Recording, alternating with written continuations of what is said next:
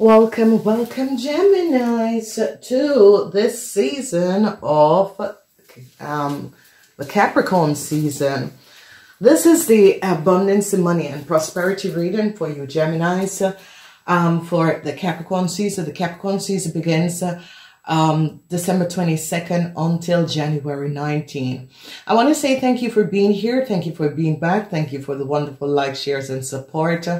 Geminis, this is going to be a wonderful, positive year that is coming up. And uh, we have uh, the symbol of the shoes, the yin and yang ring. We have the rose and we have five changes that's coming up. So Geminis, this is um, good. This is wonderful.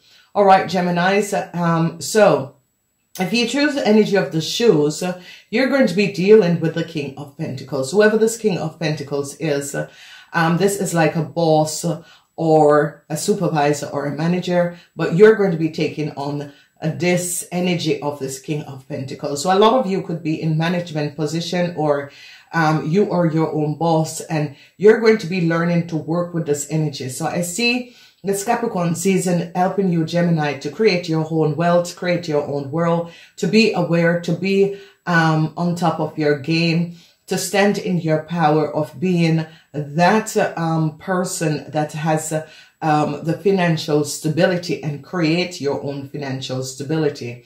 So I see for a lot of you Gemini, especially business people, you're going to be standing in your power in such a wonderful way, using the, um, the resources that you have at hand in order to create your materialistic stability and abundancy.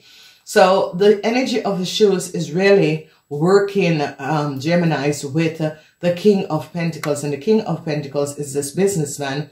This businessman create a lot of wealth and stability. And this businessman is going to be helping some of you or you are going to be using the energy of this businessman in order to create and bring back wealth and stability in your world. So this is going to be absolutely fantastic. This is going to be when you are um, creating your own wealth in a wonderful, um, positive way.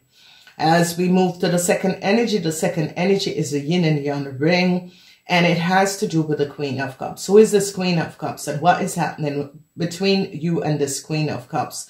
So some of you ladies could be um, taking on the more mature, mature um, nurturing sense uh, in the business world or in your career or at the workplace. Okay. So what that is doing is softening you up, but in that is also helping you to acquire what it is that you um, want to create for yourself. And this is going to be wonderful and positive because whatever is happening is as if there is going to be another person that is going to be help you to move forward. So we see this energy of you ladies taking on a more nurturing effect because you're always going very sharp, but now you're standing back and because you're taking on this nurturing effect, um, the information that is going to be behind this ring is going to be guiding you in the direction in order for you to create your own wealth and stability. So women, this is going to be absolutely fabulous. You're working with the energy. You're having that soft, smooth, um, energy where you're standing in your power, but yet still you're protecting your environment. And this is going to be absolutely wonderful because you are bringing back some sort of a stability in your world and it's creating what it is that you want. Okay. So this is good. As we look at the third energy of the rose, the third energy of the rose, have another person so a lot of you are going to be dealing with the King of Cups. Is this person working in your favor or are they working against you? Who is this person? Is it your boss? Is it your a business partner? Is, is this person supporting you in any way? But this person has something to do with your financial abundance flow in this uh, period. So if you choose the energy of the rose, you're going to be dealing with the King of Cups. And whoever this King of Cups is, uh, um, he is going to be having um, some sort of uh, uh, influence in your life, whether or not um, he's going to be working with you or working against you. So I see that this transition is going to be coming up for a lot of you. Some of you men could be using this soft energy as you return to work in the first week of January. You could be using the soft nurturing energy in order um, to show your appreciation to uh, the people at the workplace. And this is going to be good. So however way this is coming up and this is playing out, the energy of the rose carries the energy of the king of cups. Whoever this person is, whether they're working for you or against you, or supporting you in any way, this is going to be absolutely brilliant, brilliant time to open up and uh, work with this person because they're going to be um, helping you to move forward. Is it a lesson they're here to teach you? Whatever it is, they will be there to help you. So we are going to be moving on to the number five. And the number five is about changes. So in the second week, some of you could be um, signing a new contract, changing your job, relocating, um, so um, this is good. However way it is coming up for you, it was meant for you. So you have to understand um, that a lot of you could be changing your contract, um, changing workplace, or you could be relocated. Maybe you went back to work and they said, oh, we have some someone else. We need to have someone else in another place, another department is going to be okay.